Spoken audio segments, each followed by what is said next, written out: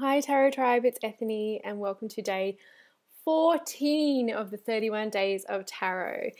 And today's prompt is What cards confuse the heck out of you when it shows up, and why do you think this is?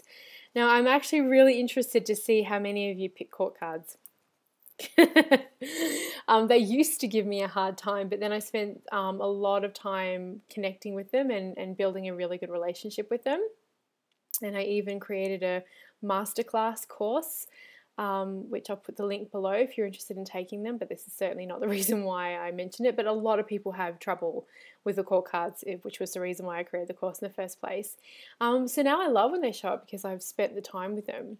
But today I'm going to talk about three archetypes that come up quite often, and they've come up for me, and they can they can be a bit confusing because they are like huge entities.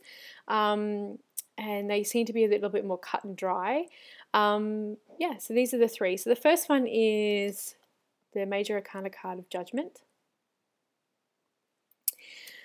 Now, the Rider Waite Smith version of this is um, people being called out from the coffins, uh, laying down, or the coffins, or however you choose to view that, from a trumpet call. So, this is very different. This is from the Thelema Tarot. Um, and there is that trumpet there, the, the trumpet, um, but there's not anyone else. It's just this this angel. So I find these cards may not be super easy for beginners, but you know, you. I've always like I've always said, go with what you like. Um, so judgment can be quite difficult because it's a thing. You know, like judgment is a huge part of like a huge part of people are judgy. people are people are judgmental. Um, it almost seems like it's a natural way of being. Almost now, we judge people, we judge each other, we judge ourselves. Oh my God, we're so hard on ourselves. There's a judgment of the law. There's a judgment of our peers. Um, so it's a very it can be a very complex kind of thing when we talk about um, such a large concept as judgment. And then the next one goes pretty hand like pretty closely with this, which is justice.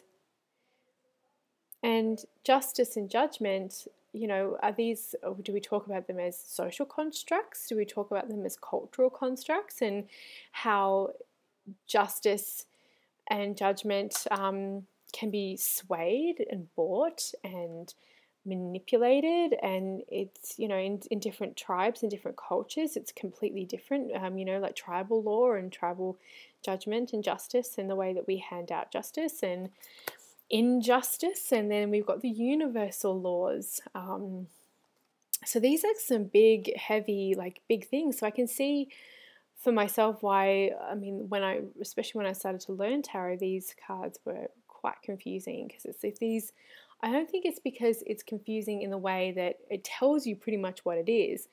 It's confusing in the way that it's such a big construct, it's such a big archetype, it's such a big part of um, of conscious energy of unconsciousness that it can be very hard to kind of reconcile and bring down to a a um, an understandable point of view I mean, often this come, these cards can come up when there's law issues or there's a reading that has to do with um, a decision being made or contracts or deals or things like that. So, in that way, they're a little bit easier. But in a higher way, they are big energies.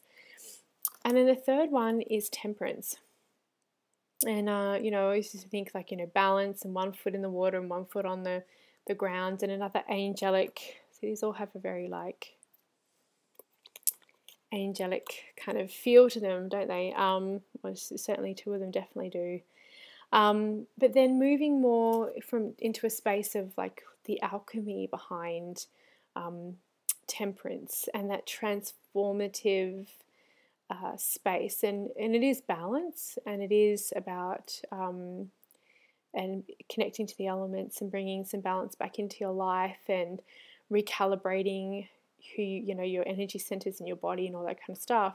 But it's also about mixing the waters and testing the waters putting dipping your toe in and about experimenting. And so there's all these other things around um, temperance that is that is quite big, and then it talks about temp- temperament as well, like an actual temperament of a person, and being tempered and taking your time and being patient and reflecting before you react to something and not flying off the handle. So I find that these three cards are very connected in that way. Um, they're those big energies and because they're quite literal, they can be a little bit hard sometimes to put into context. So when I first started learning the tarot, and a lot of people's you know a way of learning it is to have some keywords for each card so that you know when they come up you can at least recall the the keywords. Um, yeah, it's a really, you know, it's a good way of, of doing it, but sometimes it can be then hard to put into context. So those are ones that kind of gave me some some trouble. Um, I'm really looking forward to seeing what cards you all picked. And uh, thank you so much for watching today, and I'll see you tomorrow.